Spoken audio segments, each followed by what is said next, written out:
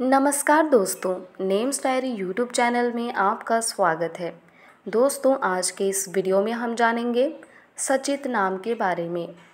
सचित नाम लड़कों के लिए रखा जाता है। सचित नाम का अर्थ होता है हर्षित या चेतना। सचित नाम के लोग बिल्कुल अपने नाम के अर्थ के समान होते हैं। इनका जीवन काफ़ी अच्छा सरल, सुखमय होता है। ये हमेशा हर्षित रहते हैं।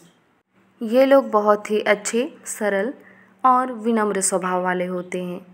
सचित नाम के लोग खूब मेहनती, खूब परिश्रमी होते हैं। ये लोग अपना हर कार्य, पूरी निष्ठा, लगन से करते हैं और उसमें सफल होते हैं। इनका धर्म हिंदू धर्म होता है।